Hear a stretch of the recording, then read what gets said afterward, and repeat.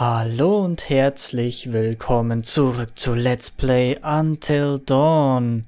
Wir befinden uns jetzt auf dem Gebäude vom alten Sanatorium, war es, glaube ich. Ich bin mir gerade nicht sicher. Der Typ ist da gerade rein verschwunden. Und wir sehen uns hier jetzt einfach mal ein wenig um. Vielleicht erwischen wir ihn ja, den kleinen Mistkerl, der Ashley umgebracht hat. Nee, es war nicht Ashley. Der Jessica war das. Jessica wurde umgebracht. Wobei ich mir noch nicht ganz sicher bin, ob es vielleicht auch ein bisschen an meinen Antworten lag, weil es kam heraus, dass ich sie am wenigsten leiden kann und in der nächsten Szene ist sie gestorben. Das ist schon ein komischer Zufall. Das ist ein sehr komischer Zufall. Ich schaue mich jetzt hier draußen mal noch so ein bisschen um. Was ist denn das nämlich da drüben dran? Und vor allem, wir konnten noch irgendwo hinsehen, wo er irgendwas zugemacht hat. Was haben wir denn hier? Awesome. Why wouldn't I end up in the creepiest place on planet Earth? Baubehördlich gesperrt. Ab sofort ist allen Personen die weitere Benutzung oder Bewohnung dieses Gebäudes gesetzlich untersagt. Alles klar. Ich glaube ehrlich gesagt, dass hier eh zu ist. Ich teste einfach mal. Oh. Nein. Oh. Shit. Ich wollte da nicht rein. Scheiße. Geh wieder raus. Oh.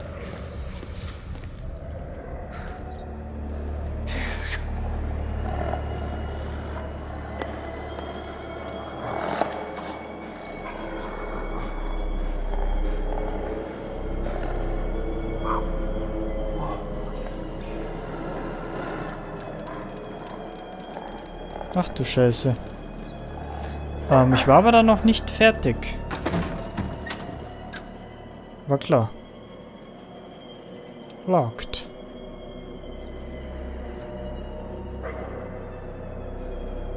Ja, das haben wir jetzt gesehen, okay. Es liegt da am Boden. Kann man nicht nehmen, okay. Die Kapelle ist da drin. Es ist aber nicht passend für ihn der da Menschen umbringt. Kann man da raufklettern? Ja, kann man scheinbar. Ah, ich möchte mich da trotzdem draußen noch umschauen. Das war nämlich... Ich war da noch nicht fertig. Da war ich gerade noch nicht fertig. Da gab es nämlich rechts noch... Also, von hier aus gesehen links. Oh, es war immer so extrem dunkel. Holy shit. Ist ja gar nichts mehr. Was haben wir denn hier? Ah, genau, da ist das Ding. Jawohl. Das habe ich gerade schon gesucht. Was ist denn das? Kann man da rein?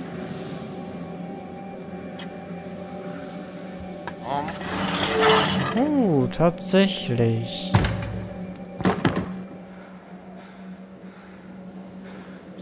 Vielleicht finden wir hier erst noch was, bevor wir in die Kapelle gehen. Oder ich übersehe schon wieder die Hälfte. Das kann natürlich auch sein.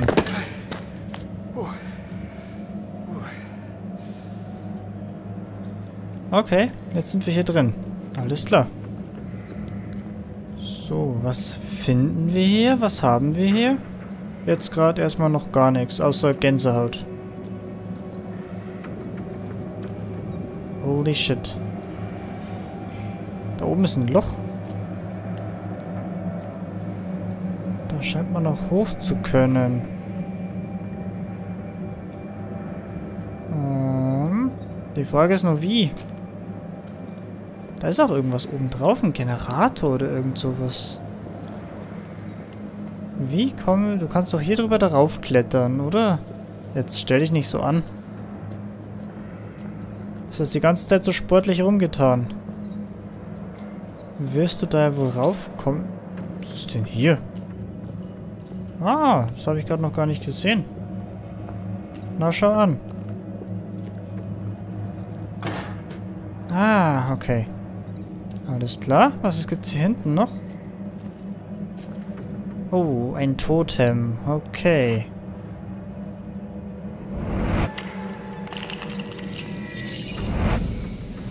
Äh, Verlusttotem. Holy freaking shit. Das möchten wir bitte nicht, dass es wahr wird. Auf keinen Fall. Ja. Achso, den rechten Stick. Ah. Wenn ich nur den linken bewege, dann passiert da nichts. Habe ich so tatsächlich verstanden. Okay, jetzt kann er darauf klettern und aktivieren, was auch immer dazu aktivieren ist. Es sieht zumindest so aus, als ob man da irgendwas aktivieren kann. Let's find out. Ich hoffe, das macht, wir machen da keinen Lärm oder so einen Scheiß, weil wenn wir da jetzt irgendwie einen Kompressor oder einen Generator anschmeißen, dann könnte es etwas laut werden und der Typ holt uns und kriegt uns und wir sterben. Das möchte ich bitte vermeiden. Aber ich befürchte, dass wir hier nicht mehr rauskommen. Dass wir hier reingesprungen sind, war, glaube ich, endgültig. Ich hab, wüsste aber auch in dem anderen Raum nichts, wie wir da raufgekommen wären. Um ganz ehrlich zu sein. Was haben wir hier? Ah, da klettert er darauf. Okay. Er aktiviert also doch nichts. Zum Glück. That's different?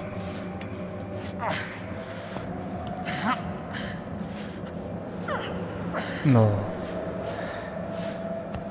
Ernsthaft. Ich meine, ernsthaft. Hätte ich auch den Haupteingang nehmen können. Sag mal. Ich fühle mich ein bisschen verarscht gerade. Na gut, haben wir wenigstens alles gesehen. Kann man den drehen? Du wirst deine Nasenklammer brauchen, die riechen wirklich. Was? Hiermit informiere... Nimmst du das wieder in die Hand?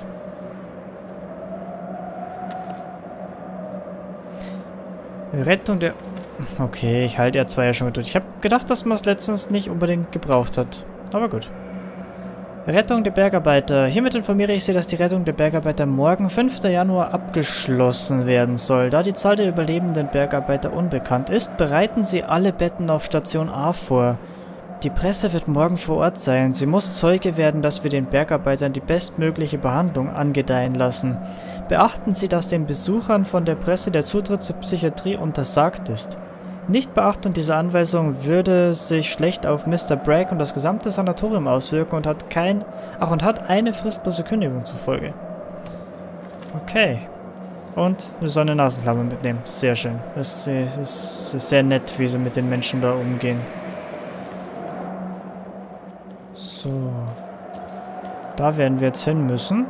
Denn ich sehe nicht, wie er da hochkommen soll. Blackwood Pines Sanatorium. Mens sana in corpore sano.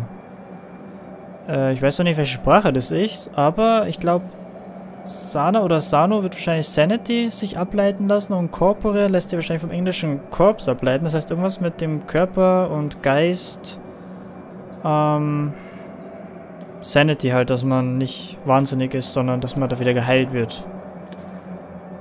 Ich leite ich mir jetzt einfach mal aus dem Englischen her. Ich habe keine Ahnung, ob das stimmt. Keine Ahnung. Es könnte Latein sein, was das gerade war. Ich kann leider kein Latein. Ja, da oben komme ich nicht drauf. Keine Chance. Dann... Oh. War die Tür vorhin auch schon offen? Ach so, nee, die Tür ist nicht offen. Okay. Dann gehen wir mal in diesen... Komm.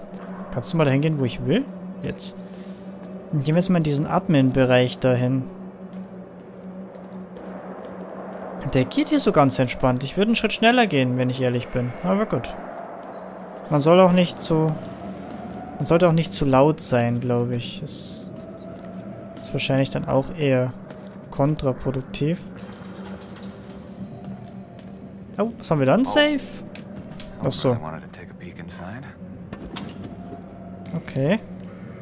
Hopp. Oh, oh. Leise.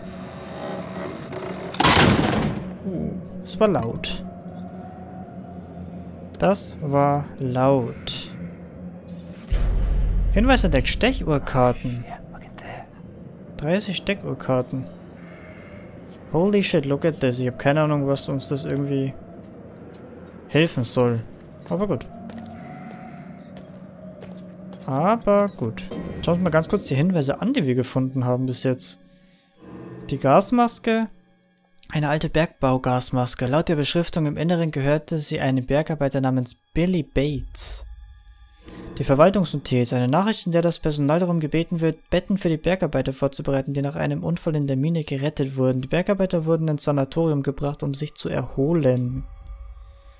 Und die Stechuhrkarten, ein Stapel von 30 Stechuhrkarten aus der Mine, eingeschlossen in einem Safe. Das bedeutet, dass 30 Bergarbeiter in der Mine eingesperrt waren. Offensichtlich, ja. Stimmt. Von der Seite hatte ich das gerade noch gar nicht gesehen. Wo geht's dahin? Ich kann es nicht lesen. Morg, okay. Morg ist, glaube ich, äh, das Leichenschauhaus. Wenn mich gerade nicht alles täuscht, das Knurre wird lauter. Habe ich das Gefühl. Hinweis entdeckt, kaputte Kamera.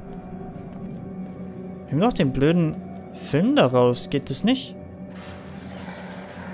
Ich werde versuchen, den Film da irgendwie rauszunehmen. Huh. Goddammit. Kaputte Kamera. Die Linse dieser Kamera ist zertrümmert. Sieht aus, als hätte das jemand mit Absicht gemacht. Das ist nicht gut. Das ist gar nicht gut. So. Alter, das ist echt schlimmer wie in jedem Horrorspiel. Von weil ich Schiss habe, dass jederzeit er stirbt. Und hier stirbt man ja endgültig. Oh oh. Was gibt's hier noch? Ich sehe schon, dass ich den Typen gleich über den Weg renne. Das fände ich jetzt auch nicht so lustig, um ehrlich zu sein. Hinweis entdeckt.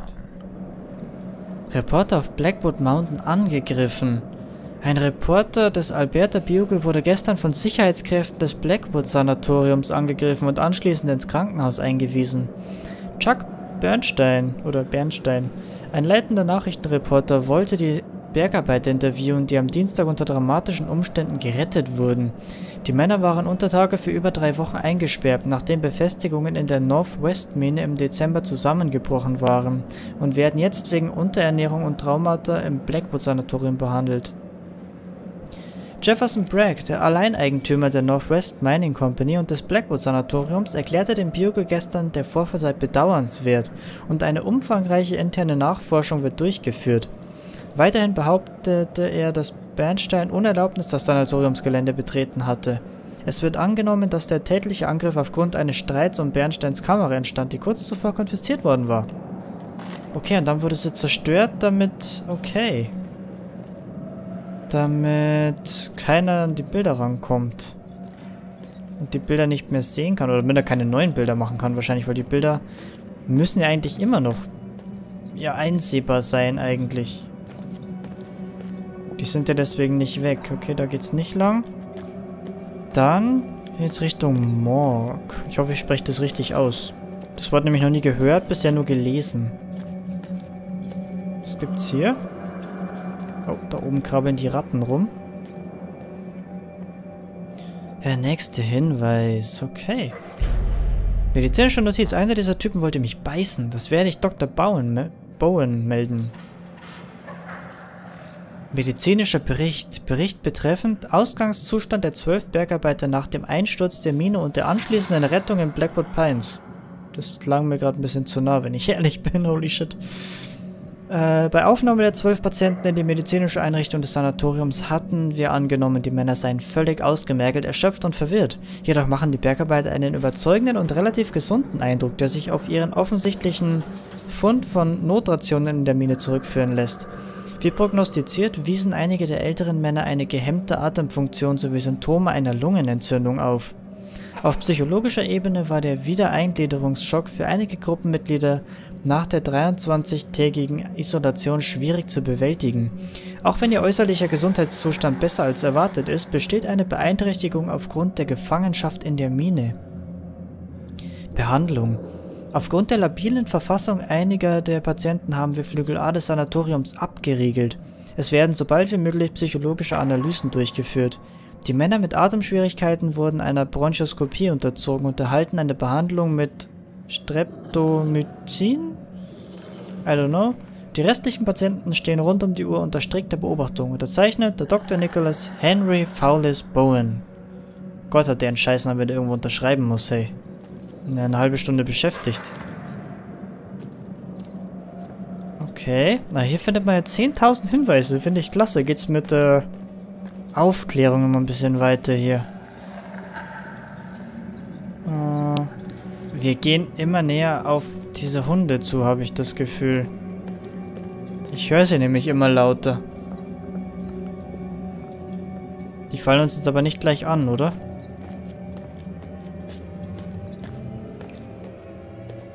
Oh oh.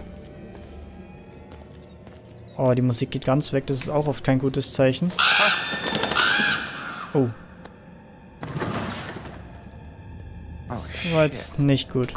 Oh shit. Sehr schön. Damit lässt sich doch was anfangen.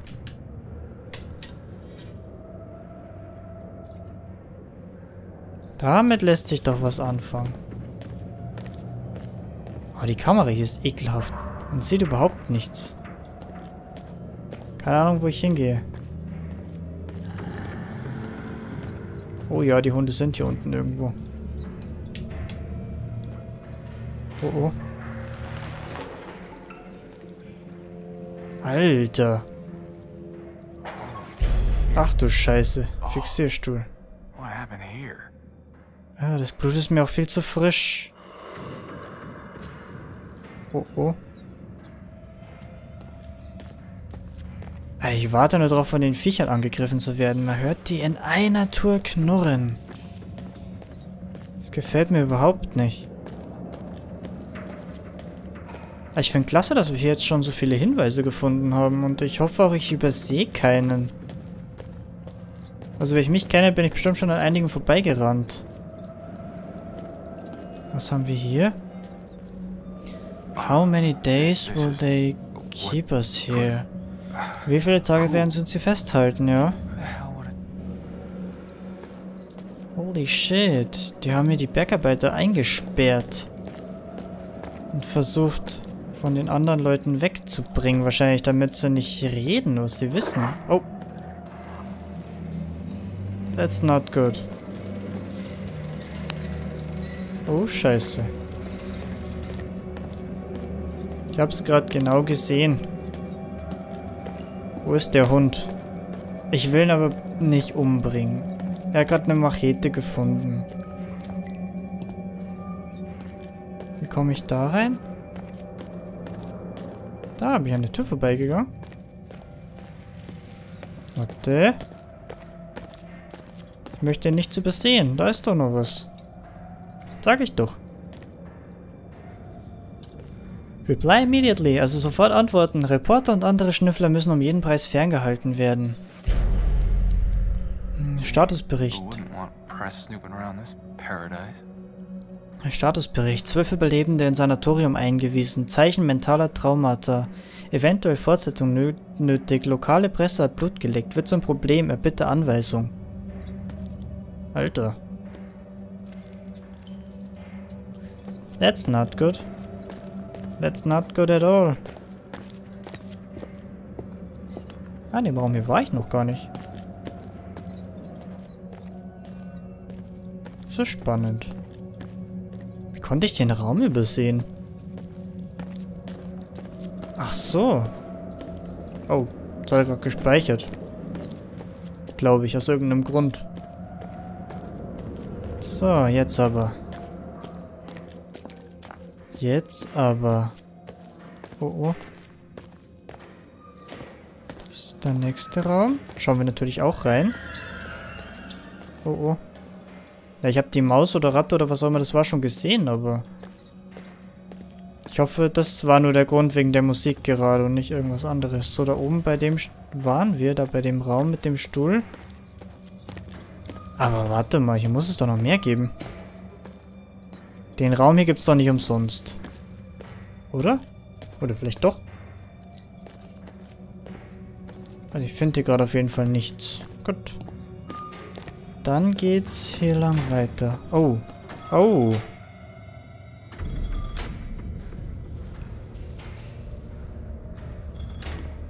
Alter. That's creepy as fuck. Ernsthaft. Wer macht sowas? Das ist doch krank und ekelhaft. Ah, da ist dran. Oh. Ach du Scheiße. Oh shit. Alter, nein, wir hacken uns jetzt nicht die Hand ab. Kannst du es aufdrücken? Ah, Bärenfalle öffnen, komm hey. Warum sollten wir uns die Finger abschneiden?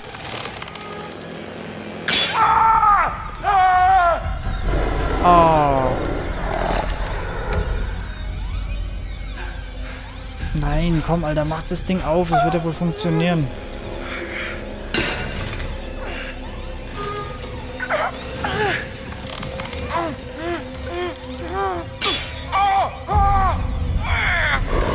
Oh, ist das Ding jetzt abgebrochen? Ja, ist es, aber du hast doch noch ein Stück, komm. Damit kann man sich auch noch wehren. Es ist immer noch besser, als einen Finger zu amputieren.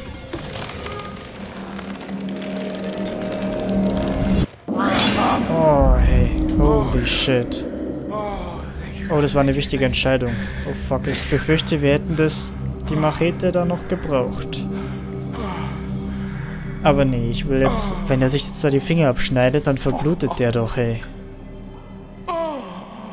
Und wo ist der Hund, der uns gerade noch gesehen hat?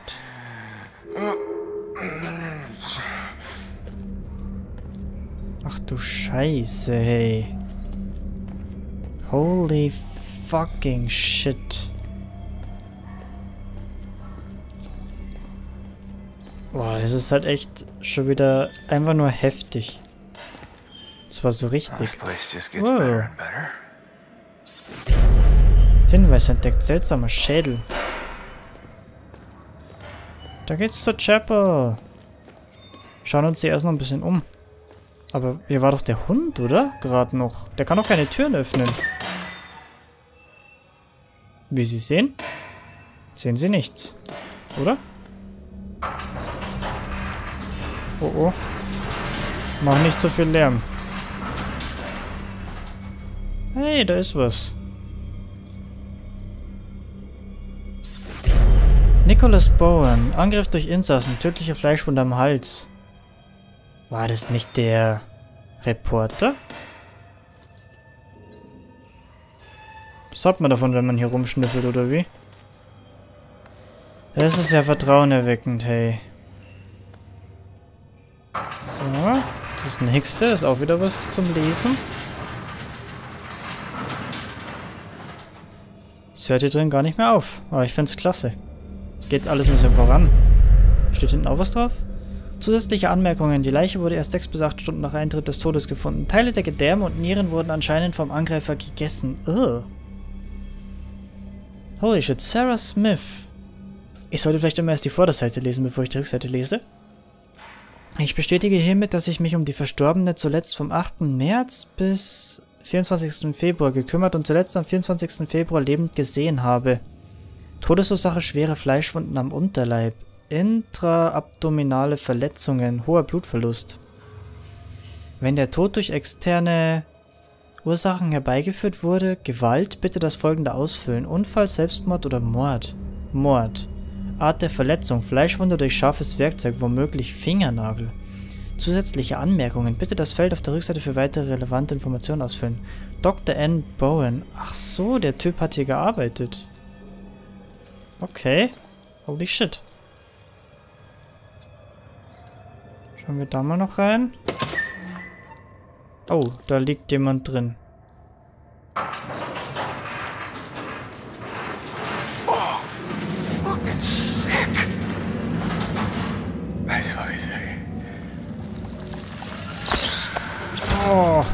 oh. that is fucking disgusting. Was haben wir hier?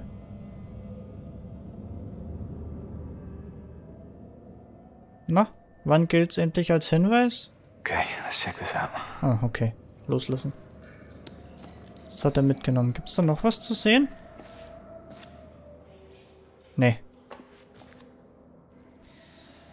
Puh, alles klar. Ja, dann würde ich auch tatsächlich sagen, dass wir die Folge an dieser Stelle hier beenden. Weiter geht es dann in der nächsten. Ich hoffe, es hat euch gefallen. Lasst mir einen Kommentar da, gebt einen Daumen nach oben und dann sehen wir uns in der nächsten Folge wieder. Also, bis bald.